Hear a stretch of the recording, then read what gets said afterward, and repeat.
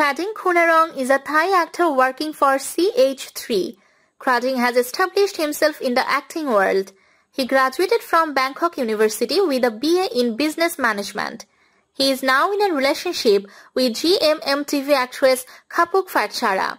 In 2021, he appeared in Keun Ruk Salub Chata. He has drawn praise for her unique screen presence and versatility.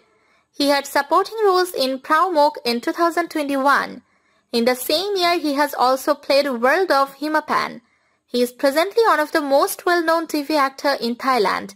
In 2021, he also starred in Theptida Pla Rah. He is a well-established actor in Thailand where he started his career and has featured in different drama. In 2019, he appeared in Likhit Hein Jan. In the same, he has also played Nobody Happy and Nue Love Salab Love. He is a young actor who is very passionate about acting and wants to become an international star. In 2018, he appeared in The Crown Princess.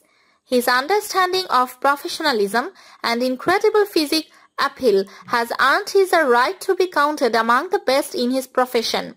In 2016, he starred in Nang A. In the same year, he has also played Pang Chai Kon Ni Mei Kai Po Weist. He has been given the chance to prove himself more than once in several different projects in the last few years and he has done an amazing job.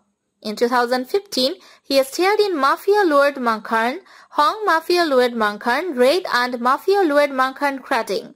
He has attained quite much in his still early career and seems to be hungry for more and more.